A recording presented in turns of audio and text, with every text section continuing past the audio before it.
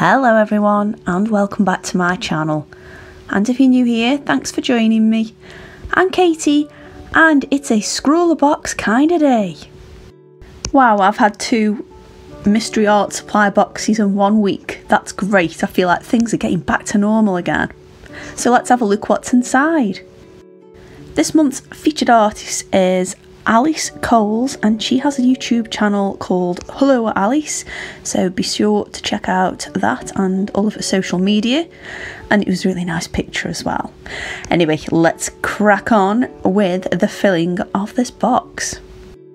So it always interests me when you get one of these boxes within the boxes because that's like an extra mystery, right? And this month it was the Derwent Inktense blocks, which I just so happened to purchase the week before. I'd only picked a few colours up, so I'm not feeling too bad. But what are the chances of that, right? I think at some point though, I will do a bit more of an in-depth ink Inktense video. Boy, that was hard to say. We've also got a paintbrush, a white gel pen and a pencil, as well as a sticker and some fabulous paper to work on. And I am absolutely loving Scrawlrbox at the moment for the additional paper they are providing. Because beforehand, by the time you'd done the swatches and you'd done your final piece, there was nothing left to work on, so it's actually really nice to be able to do that. We've also had the Scrawlr Zine and as well as that, we had a drumstick lolly chew, which was well nice. Drumsticks like one of my favourites growing up. So it was quite a nice nostalgic little chewy sweet we had. And of course, let's not forget the sticker that we got in this month's box, which matches the colour scheme and medium used by the artist. So let's get into what's inside the box a little bit more. The pencil we have is a Caran d'Ache Prismalo pencil, hope I'm saying that right, and it is a water soluble pencil and it's very, very, very pigmented. We of course have the Derwent Inktense blocks and I don't have any colour names but they do have colour numbers which I am writing down on screen. I'm not going to go through them because that would be dull and like I say, I'd bought some, but I hadn't actually got round to using any of the blocks. So this is my first time really having a play about with them. And they, they're, they're exactly what I expected from the Inktense range. There's really vibrant colour there. I thought I'd try and blend them a little bit with my finger to see if that could be possible, and it is to a certain extent, but these are either to be used dry or to be used with the, the paintbrush and water. Now it's easy to compare these to the Inktense pans as well because they are more like a watercolour set, but I did find that these just left a slight a little bit more of a residue than the pencils and the pan set does. But again, I guess that's to bind the bar together, but it wasn't anything that would be a problem. And I think if I crushed them up and put them into a palette and added water that way, that wouldn't perhaps be so much of a problem. Upon adding some water to the Caran d'Ache pencil, wow, I mean, that again, that seemed a little bit like the Inktense pencil range so that might be something I might look into into a future date but wow that was fantastic just to mention as well I've completely forgot the brush we have is a Seawhite synthetic brush and that is in a size 6 and really nice brush to paint with and finally, the Gelly Roll. Well, we know how they all work. I use them quite frequently, but it kind of showed up pretty well over the Inktense. So this month's Scrawlr Challenge was Spirit Animal, and to be honest, I've never really thought about what my spirit animal would be. It's it's one of them things where I kind of like all animals. I don't feel like massively drawn to a particular kind. So I thought long and hard about it, and I went for a magpie. Why did I go for a magpie? Well, they like all things shiny, and I suppose to a certain extent, I like all things shiny, mainly art materials, but I'm going to put that in the bracket of nice shiny things just for the sake of this video and for the sake of the magpie. I also quite like the personality of a magpie. I mean, they don't care. They don't care. They, will go in, they'll swoop at you, they'll strut around, we usually have one that comes and visits our garden daily and it raids the bird table and then we don't see it until the same time again the following day. Although we do hear it throughout the day. They make a kind of rattling noise, don't they, when they call? And we usually know when the magpie's about. But I don't mind a magpie. I know they're a bit of an omen. Not for me. They're okay. I always say hello to them.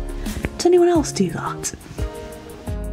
So anyway, what am I doing on screen? So I started off using the black pencil that came and I just swiftly outlined everything and I am going around the edges in a black outline because I want this magpie to be colourful. So I'm putting all the dark colours on the outside for this, so that'll be the black obviously. And I'm going to go in there with some colour.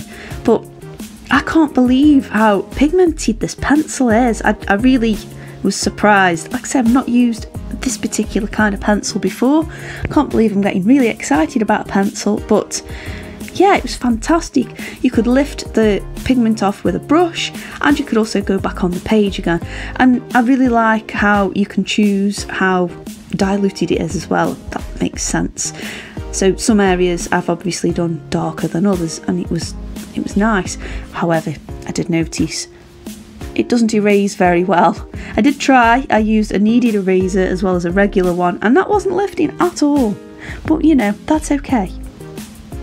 For the Inktense side of things, I thought let's go down with a bit of pigment first. So I put some down, not too heavily though, I didn't push down as much as I did for the swatches, and I can using a flat edge to draw something is not something I'm used to. So it was quite interesting to think of another way of applying these pigments before adding the colours and it's quite nice because you can get some nice straight lines with it and also you can cover broader areas which I thought was pretty cool. So I decided to layer the colours up before adding the water on this particular area and I went for the blue and the purple and that wine red colour as well because they were the darkest three out of the set. And although I didn't apply a huge amount of pressure for the colour blocks, I was really gobsmacked by how much colour came off them. I mean, you can see for yourself there's, there's not a huge amount of scribbling that's gone down beforehand but the amount of colour that came to life was great. Again, it still just had a little bit of a residue to it, but it wasn't anything. It wasn't anything that sort of ruined the picture once it had dried. It was just noticeable more when I was adding the water, and then when it came to adding another layer, because I don't know if you know with Inktense, but as soon as you put that layer down, added the water, let it dry, it doesn't shift after that. It's brilliant. So it didn't concern me too much when I went over it again later, and I do, you, you'll see later on. I wanted to avoid too much ghosting because there is just a tiny little bit there, but that is just the nature of the medium and that can be used to enhance it rather than it seems a bad thing. So, to avoid any further ghosting, I applied the paintbrush directly to the ink blocks just to add a bit more of a flash of colour and just add a little bit more control to where I was applying it. Now, one thing I haven't spoken about on here is the paper. It is 350 GSM and it's made by Seawhite or oh, Seabright. Seawhite? It's Seawhite. Yeah, and I've used their paper before. I don't know if I've mentioned it, but my other studio is above an art shop and they do stock quite a lot of the Seawhite papers there. And I quite like Seawhite. So after adding that initial colour laydown, I decided to go back around the magpie with that pencil and just add a little bit more definition so those edges weren't quite as soft and that was brilliant for that. Of course, as well, adding the water to it just brought it to life. I'm, can you tell I'm quite enamoured by this pencil? That's weird, right? Now, I forgot to mention as well that I added a little ring to our magpie's beak because that's what we normally associate magpies with. I should have mentioned that at the start, but it just seemed like a nice feature and also something else where I could perhaps just add all of the colours that were included. So for what would be the white areas on the magpie, I decided to use the green and yellow Now I used these as I would a watercolour and just added the brush to it and then added the paint to the paper and smushed it around with some water because I wanted it to be a little bit more subtle. I didn't want it to quite stand out as much. I also thought now was a good time to paint the beacon on the magpie, otherwise I'd forget, so I went in there with the purple, and whilst the purple was still wet, drizzled the blue paint onto it. And whilst I was there, I used that skin tone colour to add to the ring, but decided the yellow looked better, so I guess I didn't use the skin tone colour as much as I should have done. To add some finishing details, I went around with that fabulous pencil, adding a few tonal areas as well as details for like the feathers and around the beak and just making things look a little bit sharper. And as you'll see with this second layer of wash and ink, I guess, the colours underneath don't lift, they just don't budge. Once, once it's been activated with water and dried, that's it. it, it just does not budge off the paper. I think some ways that is brilliant and I, I like this feature with the Inktense anyway. If you make a mistake though, I guess it's not so forgiving. But I actually think Inktense are really good for doing an underpainting of a watercolour so you don't run that risk of the colour lifting later on and I think they're really useful for that. To add some highlights to the bird, I used the Gelly Roll pen. I think maybe because it's quite hot over here in the UK at the moment, it was misbehaving a little bit and I really had to work it. So yeah, or I'd got a dud. But to be honest, I've got that many white gel pens. I, I'm not really, I'm not to cry over it, it's okay. But yeah, I did have to work it quite hard. But I quite like how it's just made it pop a little bit more from the background. And I also added his legs in because I hadn't and they were just these big voids on the paper. So I decided to paint them blue and use the purple to add some shadows. It's just time to finish off with that black pencil and add a few more details with that Gelly Roll and we're pretty much done. In conclusion, this month's Scrawlrbox been fantastic. It's been really good. I've been really impressed by the amount of things we've got in there and the items we've got too. Let me know in the comments below if you have tried any of these for yourself or if you use them or if you've been curious about them and this video's helped. And also let me know if you want me to do a bit more of an in-depth Inktense video.